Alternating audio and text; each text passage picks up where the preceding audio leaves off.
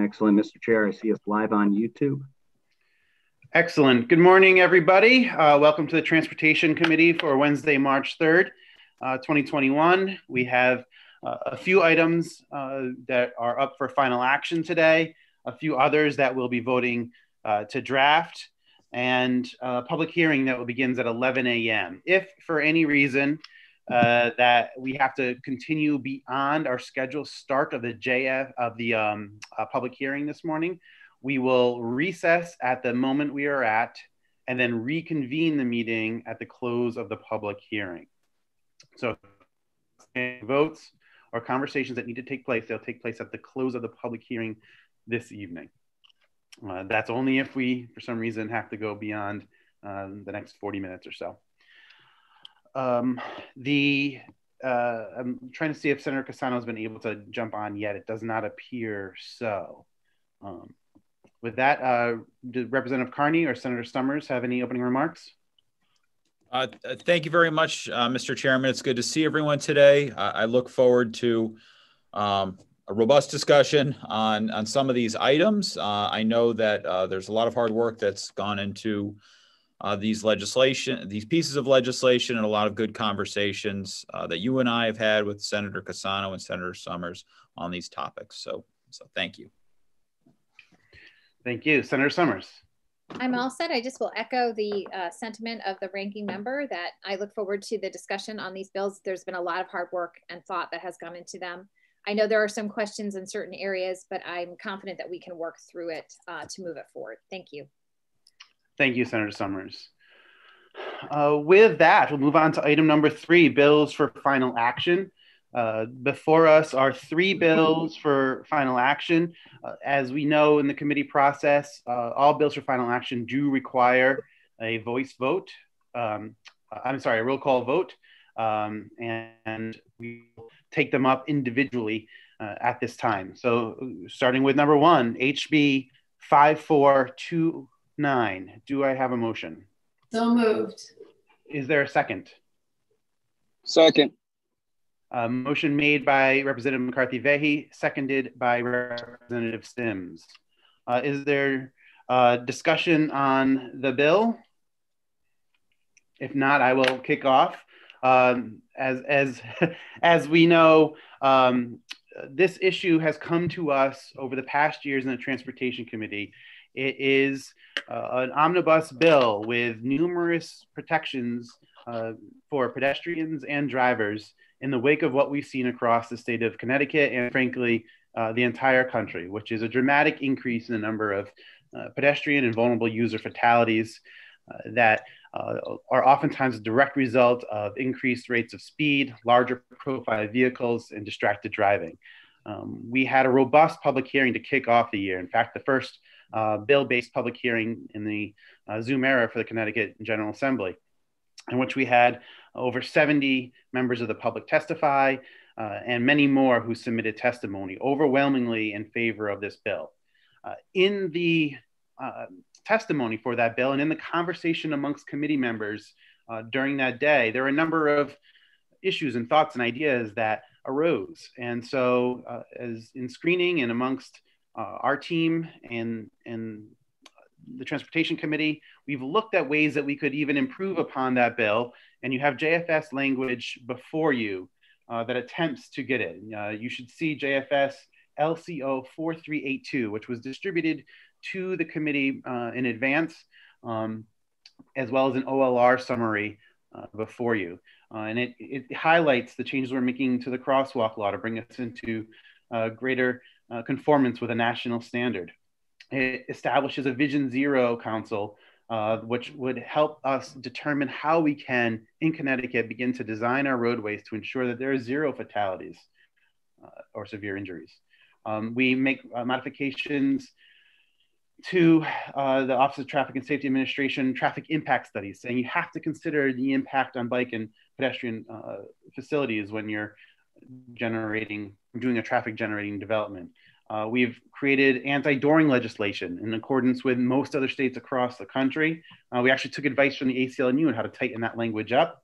Uh, we increased uh, the surcharge that a local municipality will receive on certain motor, motor vehicle violations from 20 to $25.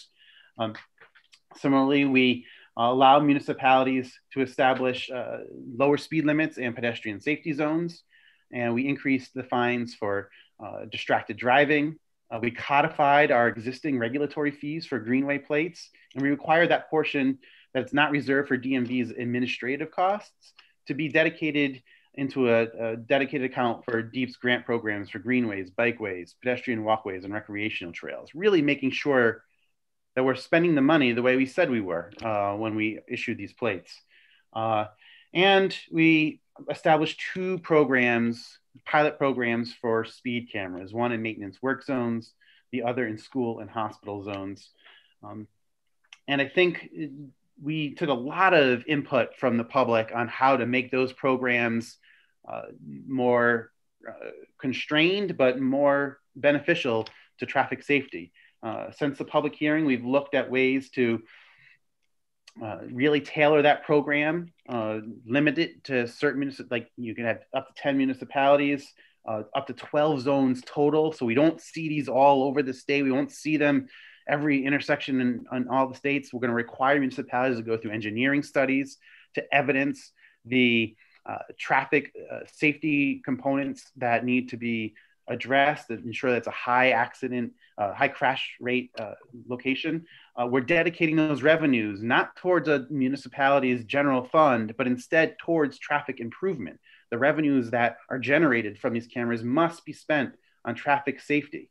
Uh, this is not and should not be construed as a revenue generator for local communities. This is about improving pedestrian safety. Uh, and we uh, make it a time limited uh, pilot program where we uh, have reporting deadlines and, and requirements of municipalities to ensure that uh, the program is working as we designed. And so I think we have before this committee a robust traffic safety piece of legislation that accomplishes so much of what the committee has worked on over the years. Um, there still be work on this. I will be working with uh, Representative Carney, Senator Somers, Senator Cassano in screening to make sure it's tailored even more, and with anyone uh, who has any thoughts or ideas about how to improve this moving forward. I do believe the committee process has served us well, and we have a, a great piece of legislation before you. And with that, open up to any questions. I do. Uh, I said Represent, Representative um, Zawistowski. Representative Carney, did you uh, hold on? Did you? I did. It's okay. Sorry, Representative Carney, then Representative Zawistowski. Yeah. All right. All right. Thank you. Thank you very much, uh, Mr. Chairman, and thank you for your uh, uh, summary of the legislation. It is is pretty extensive legislation. I just I, I do have a few questions um, regarding some of the sections within it. Uh, the first one is um, regarding the dooring in section four. Would this would the infraction only occur if there's actually a physical contact with a pedestrian or a cyclist? So, for example, if if I'm have my door open and nobody hits it, uh, I I cannot a police officer can't give me an infraction for that. Correct? That is correct, Representative Carney. Okay. Um, and then regarding um, the municipal speed limit section, is there a, a, a limit um, that towns would have to follow with that? Is there a specific speed limit that a town can't go below? Yes, uh, I believe it's 15 miles per hour. Okay. Um, all right. And then regarding the, the speed camera section, I guess my, my first question that a lot of uh, my colleagues were wondering is, I guess you could do for, you know, look at both sections, but who's going to pay for the speed camera program? Uh, it would be the local municipality that determines to erect those cameras, um, or the state of Connecticut's Department of Transportation if they determine to use them uh, at locations uh, on the on the highways. Okay. Is is there any process for selecting the towns that would participate in the school and hospital zone pilot program? Uh, I think it would it would be uh, DOT would working to develop the um, standards and ensure compliance with. I'm sorry, uh, maybe Katrina, could you help? Uh, if you don't mind, Representative Carney, I might have um, our LCO and OLR weigh in on this one. I believe we settled on uh, DOT uh, helping to determine if the requisite uh, background has been accomplished by each community, if they have a, a place where they can where they can dedicate the revenue. So if you could describe that section a little bit more detail, that'd be great.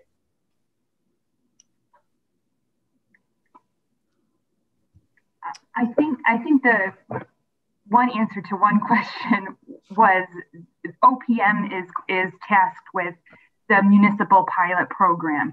So if the the language isn't specific to how OPM will design that, but um, it's it's not written as a mandate to a municipality to participate.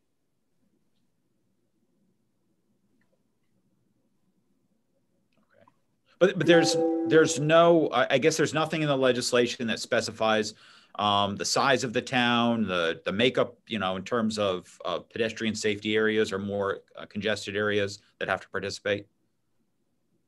No. Okay. Um. Okay. Uh, regarding uh, the speed camera section, so a lot of my uh, uh, members of my caucus had had concerns regarding obviously what happens if somebody is um, two things, I guess. If somebody is uh, cited for an infraction and they were not driving the vehicle, what are their options if that's the case? Thank you, Representative Carney. That's an issue that's um, there are numerous defenses uh, available to an individual. Um, legally, I think it's better if I allow Ms. Stratton to answer some of that specifically, but one of them is actually um, your your will your ability to just say it wasn't me um, and be uh, uh, able to challenge that ticket. So, Ms. Stratton, could you provide greater legal analysis on the available opportunities for uh, ability to challenge? Actually, I think you said it well. Okay. I guess is there is there any opportunity then? Because if like say I get an infraction um, and you know my I lent the car to my friend, uh, and I is there would there be an opportunity for me to actually see what the camera provided or what what photo or video the camera um, took? Yes, the way these programs work is a picture is generated of the vehicle at the time of infraction, and that is mailed to you, um, and you can uh, challenge that uh, by going to your local municipality saying, it wasn't me. I was not uh, driving the vehicle at this time. Okay. Do you know if if uh, a vehicle is cited for an or, or, a vehicle's owner is cited for an infraction if because I know the the police or emergency services is, is going to be the one reviewing the cameras and sending out those infractions if I'm correct? Is that correct? Yeah. Yes. So, yes. Do you know if if then say for example somebody has a criminal record or an, like an outstanding warrant or something like that whether that camera image or that infraction could be used then to go and apprehend that individual? Uh, thank you for the question. It was a very specific question. It was actually raised during um, some information gathered after the public hearing from the ACLU as well. And I think we spent some time uh, trying to work on that language. Uh, Ms. Stratton, could you help uh, illuminate that issue a little bit?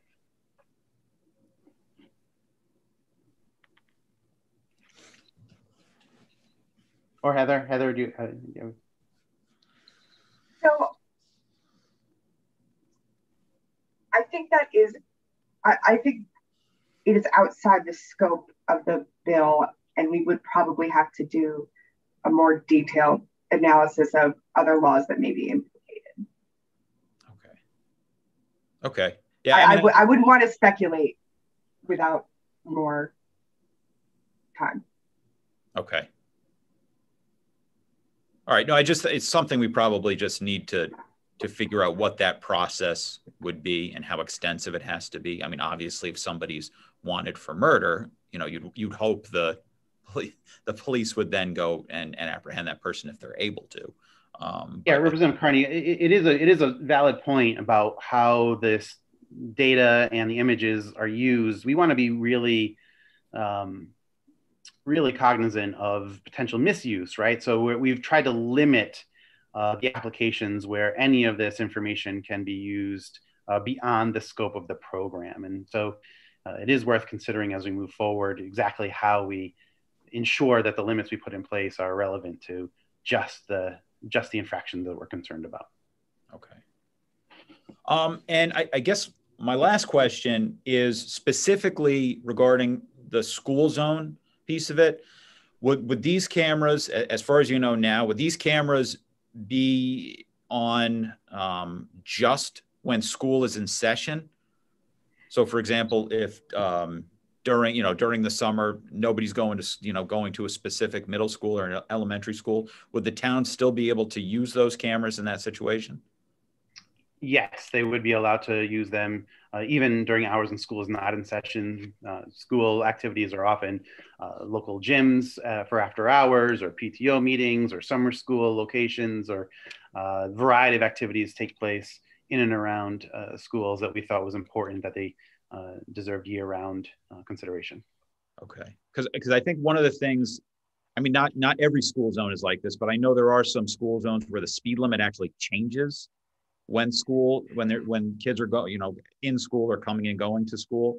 So i guess would the you know have to hope that the camera then if they are there at that particular school district the camera then would adjust for when that speed limit changes so i don't know if the te- i'm sure the technology can do it but it's just something i was thinking about yeah and, and we really want to be cognizant of that and so that's why we're we, we pushed out the implementation date a little bit because we want to make sure DOT has time to develop um, a lot of these regulations in, in use on these programs to make sure that they're hitting all of these specific traffic concerns. Um, and then limiting the pilot program to uh, just 10 municipalities allows us to ensure that we've tailored that program uh, meaningfully and it's not uh, broadly applicable without consideration for the very unique circumstances where camera would be utilized. Um, so I think that's, you know, we're, we're getting towards that. I think I think we're there, but if we need to look at some of those regulations in more detail, I'm certainly open to that. Okay. And I, I'm sorry, I thought of one other question. And I guess if if I if I receive an infraction um, and I don't pay it and I don't do anything, would then there be higher penalties or potentially a criminal offense that I would face by not doing that? Uh, no, there would not be. Okay. Okay. All right. Well, I, I appreciate I, I appreciate um, your answers and I appreciate your your hard work on this legislation. Uh, you know, I do have some concerns regarding the speed camera section. I know some of my colleagues do. For purposes of today, though, um, I am going to vote to support the bill out of committee. Um, but I and I know we will continue to work on this language before uh, it hits the floor. So again, thank you, Mr. Chairman, for all your hard work and for your collaboration on this topic. Thank you, Representative Carney. Uh, next hand I see is Rep Representative hey. uh, Zawistowski and then Representative McCarthy Vahey. Thank you, Mr. Chairman. I took my hand down before, so um, anyway, um, uh, there's a lot to like about this bill. There's a lot of things that will certainly help pedestrian safety. Um, but I, as always, I look through the lens of, of unintended consequences. And I want to thank Representative Far Carney for bringing up a lot of the areas that I had questions about concerning dooring and also uh, some of the items on the speed cameras. Um, I have one that, that uh, on the, uh, the section that will require cars to park 25 feet from marked crosswalks. I just had a question on that. Um, you know, what is, I, I, get why that's in here with the rest of, considering the rest of that part portion of the bill. Um, but um, it, how is this consistent with what other states are doing, what we're, how it's compared to what we're doing now? And does it have the potential to hurt some of our small urban businesses that are that have that may be using these spots for parking. And specifically your district might be affected by this. Um, and i just wanted to make sure that wanted to compare it to what we're doing now um, mr chairman. Thank you for the question. And i believe we removed that section um, from the jfs language. Um, yeah i wanted to double check. We removed that section from the jfs language due to very specific questions in that regard uh, raised by Senator Somers in our screening committee. Um, we'll have to relook at that section, I think, because uh, I think I think you, you nailed it. You nailed it on the head there. Um, what is the national standard that we're trying to emulate? What is the very specific local impact? Uh, the legislation as it's currently constructed actually treats New Haven different than anywhere else in the state. So I wanted to spend more time on that section, and I didn't feel comfortable that we'd gotten there for the purposes of a JFS meeting. Um, and so I, I, we took it out uh, based upon that that concern. Okay, thank you very much. And uh, uh, gen generally, um, you know, I, I have some real issues with the speed cameras because I think it does open the door to um, to red light cameras, other types of speed cameras, other types of surveillance, and I, am extremely uncomfortable with that. But uh, keeping in mind that I, I know that there is going to be additional work being done on this, uh, I am going to be voting in favor of this today, um, but uh, I may not unless this section is. In, I, am just, I'm just very uneasy about the speed cameras. I may not vote for it on the House floor, but I do would like to get it out of committee. I think it's got some very worthy items in it, and um, I'd like to at least see the the, the good portions uh, proceed further. So, uh, thank you, Mr. Chairman. Uh, thank you, Representative, and and thank you for we, we two of us have a great relationship working on issues uh, beyond committee as well. So I appreciate your trust that I will continue to work with you on these issues and, and our leadership team and screening to, to make this bill better. Thank and you. Mr. Chairman, uh, we're not uh, uh, we're, we're not talking carrots and sticks on this one, even though we spent a lot of time talking about it previously. That's right. Uh, Representative McCarthy Vahey, followed by Representative Zupkus. Thank you very much, Mr. Chair. Mr. Chair, I'd like to take the opportunity to thank you and all those who have worked on this bill as someone who uh, met you immediately and coming in as a freshman working on these issues for vulnerable users. I think this bill is so critical. And I know you all heard from so many of my constituents what it will mean here in my community locally, but for all of us throughout the state.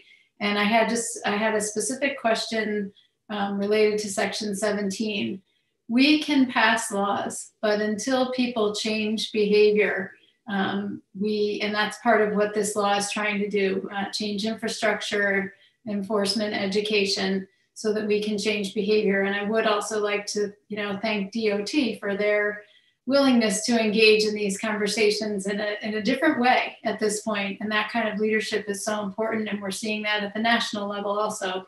Section 17 of the bill um, contemplates the development of a public awareness campaign to help the public become aware of the changes. Uh, for example, the crosswalk law, uh, as someone who's out walking frequently in the community or jogging, it's clear that our motorists um, who are in a vehicle, as I tell my teenage driver, your vehicle is essentially a weapon and that we need to, as drivers, be incredibly conscious of those vulnerable users. How, how exactly is that campaign going to be conducted? And is this within available appropriations or will there be any additional funds to uh, conduct such a campaign? Thank you for the question. And, and frankly, this is something I think I, I feel the best about uh, post public hearing is recognizing that you can develop these programs locally and you can put up cameras in a pilot program. You can generate revenue for a short window of time, um, but the pilot programs end and uh, the uh, amount of revenue doesn't necessarily um, change behavior beyond that window of time we're considering this program. And what can we do with those dollars that is, that is better for the state of Connecticut? Uh, and so we, um, are going to require DOT to develop and implement a public awareness campaign. It won't be unique to Connecticut. There are other states across the country that are doing this. And uh, the directive on that is to reduce transportation related fatalities. Um, talk about how the speed cameras are being used so people know that they're there. Um, how do you obey speed limits, the importance of it in work zones. That's all funded through the revenues that are generated by the speed cameras itself. Um, DOT currently has some funds uh, right now for public awareness campaigns, but we we double down on that with some of the revenues here. And any of the dollars that doesn't that don't go to DOT uh, that are collected locally from these infractions, uh, they require those dollars to be used to improve traffic safety. so that uh, the revenues that are generated during this pilot program have multi-generational impact. Uh, you can take the dollars that we raise from an 18 month to 24 month uh, increase in violations and redesign that intersection, uh, improve the crosswalks, improve pedestrian facilities, improve bike facilities across the entire city or town. Um, and to me, that is that is what this as a successful program looks like. Not dollars for the general fund, though our towns need it, dollars for improving traffic safety and pedestrian safety for vulnerable users. That that's what I think I heard from committee members um, talking about this bill. It's what I certainly heard from folks who testified that day. And I think it's the long lasting impact of this program is that we have a multi-generational benefit to pedestrian safety in the state. Mr. Chair, thank you again for your consistent and persistent leadership on this issue. And I will continue to stand with you on this to help advance this for everyone, everyone's a pedestrian in the end, whatever way you choose to travel. So thank you so much. I will be voting in favor and hope my colleagues will do the same. Thank you, thank Mr. You. Chair. Thank you, Representative. Representative Zupkus, Zupkus followed by Representative Morin-Bella. Thank you, Mr. Chair. Good morning.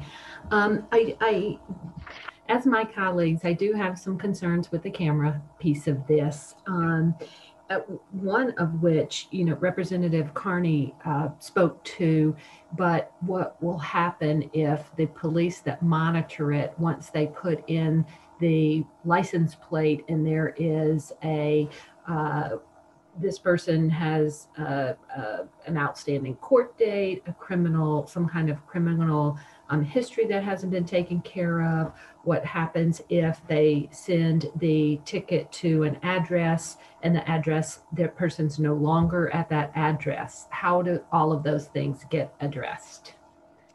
Uh, thank you, Representative. Yeah, we touched on that a, a little bit, uh, and maybe we can use more clarification in that language because the goal is to ensure that this data and images cannot be used for any other purpose that is uh, not articulated in the program rules. Um, and I think, uh, Ms. Stride, could you could you go over some of that uh, as well? How it was written to sort of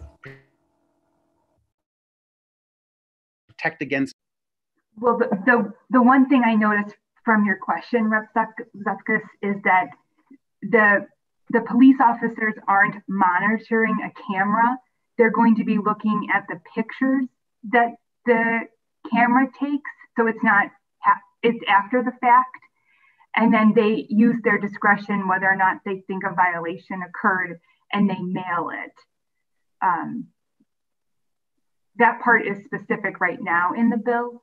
Um, but Wouldn't like, they though, if they ran the license? So I'm I'm just so they get a picture of the car and they have the license plates. And so that's how they would go in and find the address, right? Mm-hmm. So I would think when that license plate comes up and it says Lezlye Zupkus, information would come up regarding Lezlye Zupkus.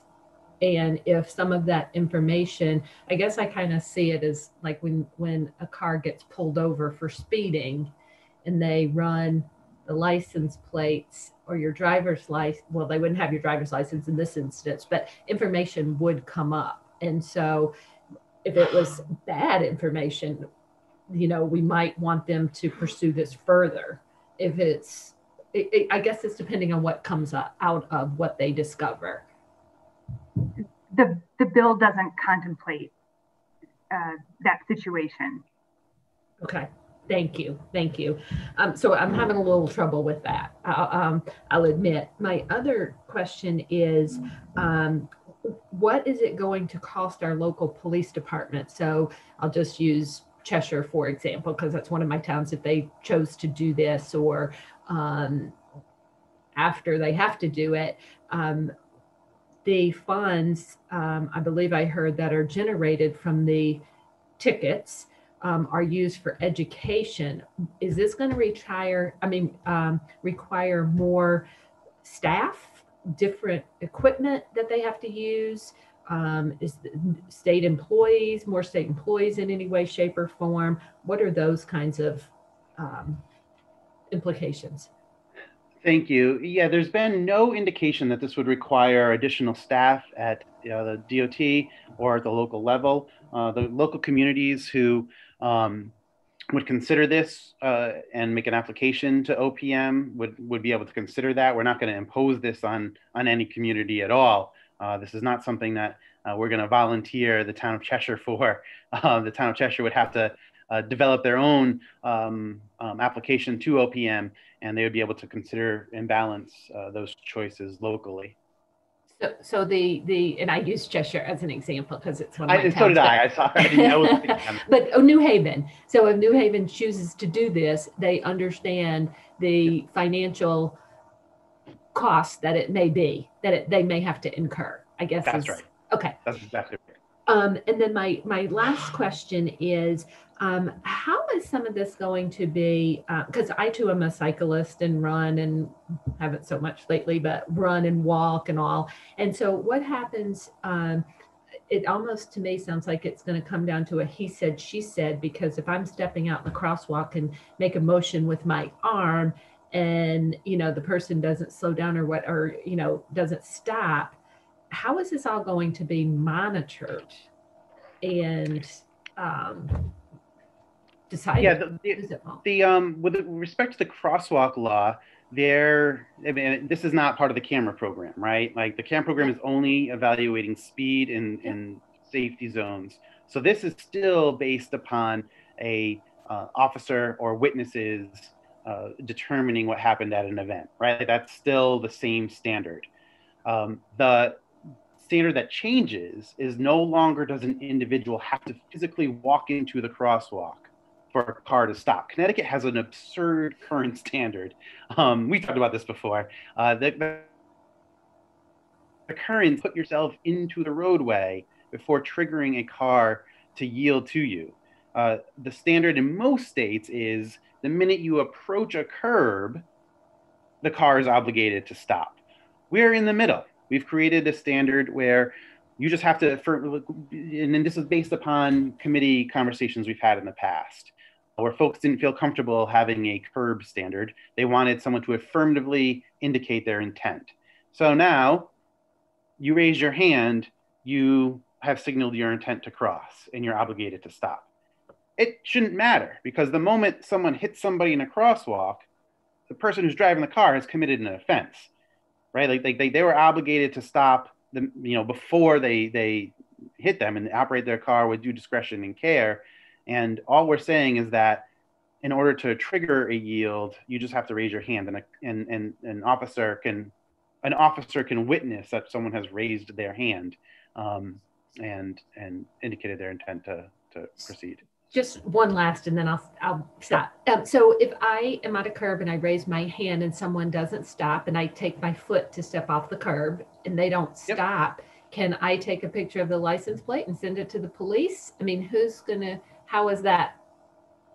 You cannot, Going you know, uh, it would have to be a witnessed. I mean, that's like that. That we're not changing the law on that. We're not allowing individuals to uh, prosecute their own crimes on this. Uh, but they're, you know, the standard is changing from when a car is obligated to yield the right of way to a, a pedestrian.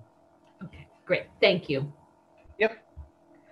All right, Representative Morambello, followed by Representative Chafee, um, Representative Haines, Representative Smith, Senator Martin, and we're going to have to uh, recess at that point likely um, to move to our public hearing. So, Representative Morambello. Thank you, Chair Lemar. I have one question. Um, it's about the speed camera section. In regard to the MOU, is it the intention to have one MOU for the entire pilot program?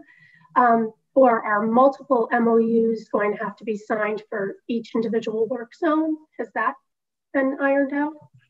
Uh, so the MOU, so based upon the public hearing testimony, it became clear that uh, both the highway workers themselves and the state police union um, would prefer there to be in these types of zones where people are traveling 75 miles an hour in a 55 unprotected area, they'd actually prefer the police presence um, when uh, appropriate.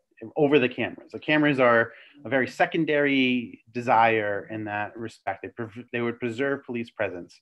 And so we didn't want to have um, the cameras take the place of preferred officers. So if they're, if DOT can work with the state police union and the maintenance worker to determine locating sense uh, for there to be officers, then they don't put up cameras. Uh, so the, the MOU supersedes that.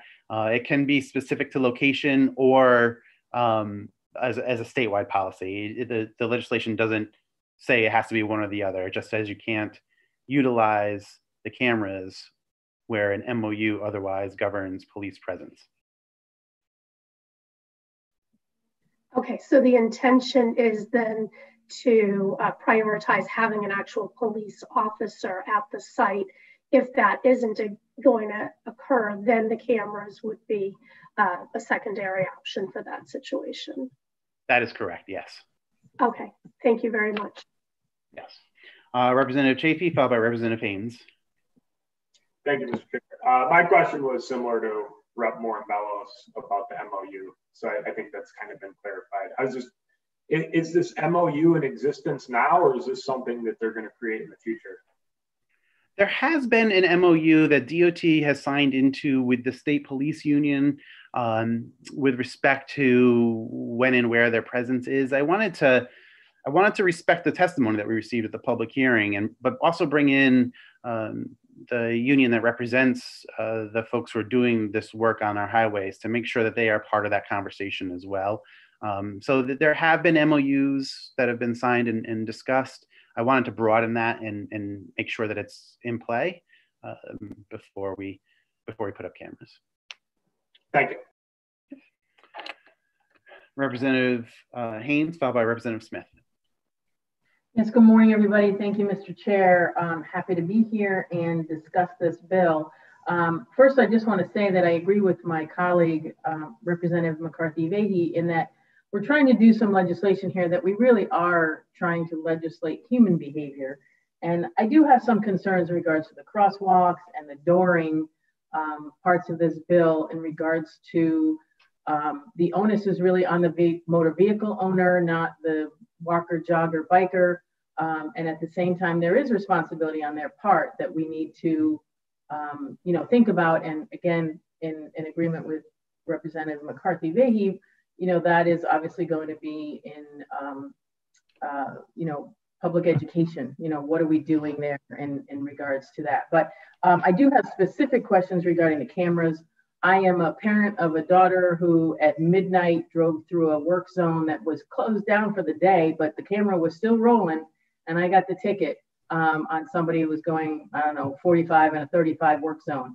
Um, so I get it. And, um, you know, I have to say in work zones, I, I, worry about our DOT workers. So I appreciate that part of the bill. The pilot, however, I just want to verify, you had mentioned, um, Chairman, that you verified that the mentioned the uh, municipality pays for the cameras. Is that not correct?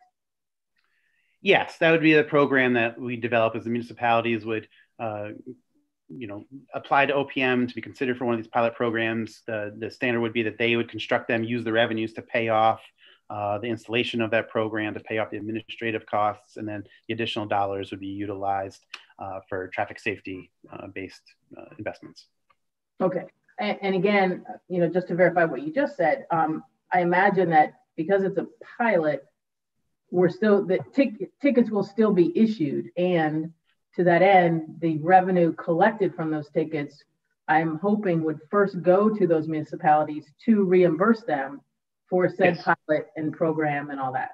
Exactly. That's exactly right. Yes. The, the, the revenues would be generated and collected locally. Um, uh, a portion of what would go to the DOT for uh, administrative costs, probably very small, if any. DOT uh, has indicated that they already have a program ready to go on this. They might not need the revenues from this for that. And we could instead dedicate all of it to local municipalities. Uh, we dedicate uh, in that that you must put it into traffic safety um, programs as well.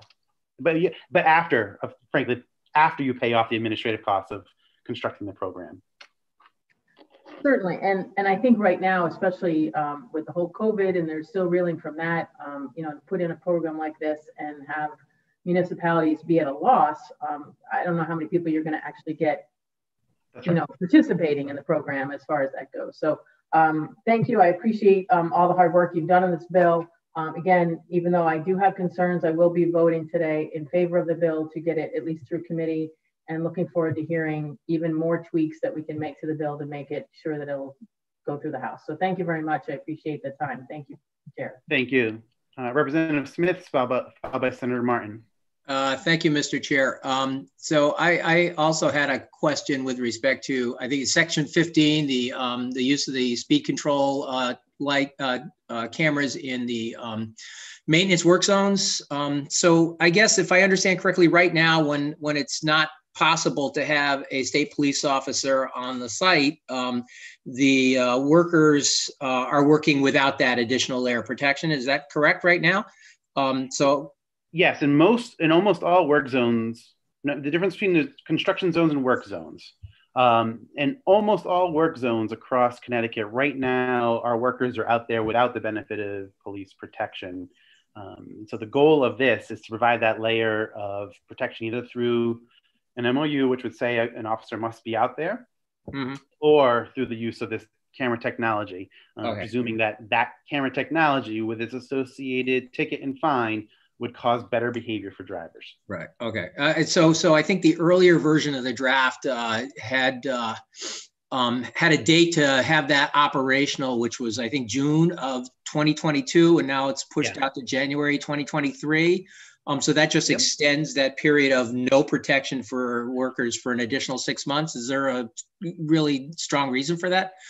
Uh, no, not really. Uh, we can move it back if I can, if we can determine that we can pull a program together in that in that time window. Uh, mm-hmm. The determination was it might be just hard to write the regs on that and to get everyone to the table um, to write this MOU. Um, so I was just giving a little bit more time for those negotiations to take place. Uh, mm-hmm. but hey, if we, if we can get the if we can get signed agreements, I'm more than willing to move it up uh, as we move forward after committee. But I just didn't get the sense that we could pull the program off in that window. Yeah, I, I wonder if there's a way to do it so that it's more, uh, you know, it, there's a little bit more wiggle room in there where it's you know, no later than or no, you know, or, or by this yeah. date or no later than another date or something like that to sort of give some yeah, momentum good. to speed that up. Um, good. Thank you. Senator Martin. Thank you, Mr. Chair. Uh, I just have maybe just one or two questions uh, regarding the speed cameras. I know my caucus is probably going to have a good good discussion uh, regarding this section in particular. But I guess uh, does the language provide the the number of intersections that are going to be in this pilot? uh, let me phrase it another way, the question another way. So are there, is there a limitation to the number of intersections that a municipality can uh, participate, I guess, be included in that study? So if New Haven, for instance, uh, can they select two or three different intersections? Yes, the, the legislation before you allows up to 10 municipalities to be considered for this pilot program and limits it to a total of uh, 12 zones per town. Um, so like you can do, you know, not, not 12 cameras because you want like 12 intersections essentially that you can do per town. Okay, thank you. Uh, the, the, portion uh, that I had concerned, I know uh, Representative Zupkus addressed, but I, I see that the cost of maintaining this, the storage of the that's going to be required uh, may be burdensome to a lot of municipalities. So I'm sure that's going to be a big discussion. Is there is there any has there been any information provided to the committee or to to you uh, regarding the cost of doing one intersection, let's say, to a municipality? yes, I received um, uh, conversations and testimony. Gosh, I, I want to. I don't know that it was actually submitted before the committee, so I don't want to misrepresent it, not knowing that I, I, it might not have come before the committee. It might have been conversations I had over the course of the summer when I was uh, constructing the bill. Um, but but we were able to determine that most speed camera programs uh, more than pay for themselves uh, when you consider the administrative cost associated with um, the pro- running the program and the construction costs associated with developing the program, uh, all this, the speed camera programs do end up paying for themselves. Um, so we ended up, you know, what do we do with that revenue? That was the secondary uh, conversation. After it pays for itself, where should those dollars go? Um, that was the, the bigger bulk of the conversation. And that and does that include the labor portion of it as well? Yes. Okay. Uh, I saw during the testimony. I mean, the number of those who testified were numerous. N- most of them came from the New Haven area. It seems like this issue really pertains to New Haven, and um, you know, I don't see this taking place in my, a majority of my communities that I represent. So, uh, and having been a city councilor uh, for four years, I'm just questioning why doesn't New Haven simply adopt its own ordinance, and if they want uh, to to address this, and why um, wouldn't they do their own study instead of having the state of Connecticut do this? Um, so one, it's not just a New Haven issue; it's a state and national issue that we're seeing uh, dramatic increases in pedestrian uh, and cyclist fatalities and roadway, roadway fatalities. Uh, New Haven, though, has had uh, a series of high-profile incidents that have raised this issue beyond um, one of numbers uh, that you see increasing on a ledger, and instead uh, dramatic impacts on community members um, that have really been impactful in our community. And, and, and it's going to ha- continue to happen across the state. And we heard from folks from uh, numerous towns that day. Uh, and, and I do think we want to afford just municipal options uh, if they want to take part in this program um, or any of the provisions of this. Uh, but beyond the cameras, we mostly modeled uh, model language across the country when it comes to the crosswalks, when it comes to uh, distracted driving, when it comes to speed limit controls. We're modeling really best practices across the country. Um, the speed camera part of it, you're right. It, like that's that is more controversial. We've heard that today. Uh, New Haven uh, is in support of it, but you're right that Bristol might not be, and and we wouldn't want to force Bristol to take part in this. Don't get me wrong. We, I, I'm very cognizant of the fact that uh, I, if Bristol doesn't want to do this, to do it. Um, so so I, I, that's why we're limiting the pilot program um, and making sure it's an application from the town to OPM to be considered. Thank you, uh, thank you, uh, Mr. Chair. I uh, see that our time is about uh, done here, and we have to move on to the public hearing. But before we close, do you think you could show us the proper way to uh, intent to cross can you show us that before we leave? Senator Martin, I, I certainly can. Um, look, if you are, approach a crosswalk right now, what you can do is you can physically run into the middle of the road and that will trigger the car to stop. Or moving forward, you can just step to the crosswalk at the curb, raise your hand, and you've signalized your intent to cross. If that is. Uh, Thank you, Mr. Chair. no problem. Um, we are going to have to recess this meeting until the close of the uh, public hearing. At that, at the close of the public hearing, we will reconvene this meeting where we will take up with a motion on the floor uh, that has been seconded to consider uh, item number one on our agenda. Uh, we will continue to entertain questions and comments at that time on that, this issue before proceeding to the other uh, items on the agenda with that said, um, the committee, do I need a motion to move into recess? I move to move us into recess. Thank you. Is there a second? Second. So the committee will stand, uh, in, all in favor, please signify by saying aye. Aye. Aye. Aye. Opposed? And that database helps us. Okay, the committee is now in recess until the close of the public hearing, at which time we will reconvene on the item uh, before us. Mr. Chair, I have a question. Yes. Uh, I have a judiciary, I think at noon. So I'll be with the public hearing from now till noon. Will we get a notice when the transportation public hearing closes? Yes. Um, uh, Mr. Clerk, could you ensure that we are giving folks a, a, a, positive window of time, maybe like 20 minutes from the close, we'll reconvene at the next hour mark, and that, and that will be just, just to make sure folks know they're not missing the committee meeting.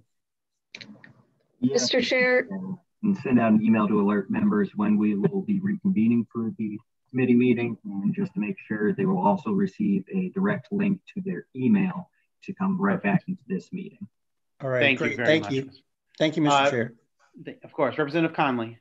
Building on what Senator Kissel said, I also have uh, the meetings. I'm sure everyone has a lot of meetings uh, today. Could we hold votes open just in case we're in uh, waiting to speak or in a, a conversation? So that way we can uh, make sure we all get back. Yes, we will accommodate folks' um, needs at that time. Thank you, Chair. All right, this meeting is in recess. I'd encourage everyone to jump over to the public hearing at this time. And uh, hopefully we won't find more new and creative ways to make the committee clerk's life uh, more challenging today. Uh, Thank you, everyone. Mr. Chair, I'm so sorry to ask. Um, I've been juggling two. Uh, did I miss a voice vote? Uh, you did not, Rep. Michelle. You you were here for the whole thing. Okay.